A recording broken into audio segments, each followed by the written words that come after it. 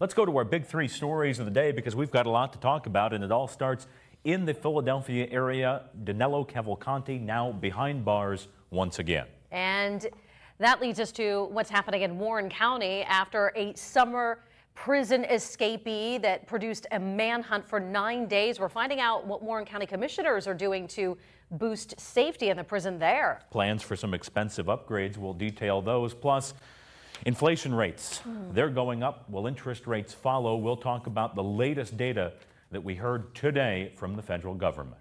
So as we move to the main desk, we're going to chat a little bit more about uh, these stories. And we start, again, as Ethan said, out of uh, the Philadelphia area namely Chester County. It was a day that started with an end. An end to a two week long search for a very dangerous prison escapee. That story, again, garnering national attention. Uh, it had about 500 law enforcement officers working all hours of the day searching for Danilo Cavalcante.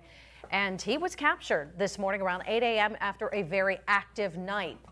Pennsylvania State Police saying the convicted murderer was discovered in the grass laying on top of a gun that he stole this week from a Pennsylvania garage. This is the second massive manhunt for a Pennsylvania prison escapee just this summer. The first one a little closer to home, Warren County, where commissioners are now accepting bids to repair and improve the prison roof after Michael Burham's escape. The request for proposal calls for the installation of a metal mesh roof, replacing the chain link fence that's there right now along with improvements to the guard window and the installation of more razor wire to deter escapees. Commissioners say between the Burham incident and the Cavalcante incident, safety and jail safety and security are top of mind. We have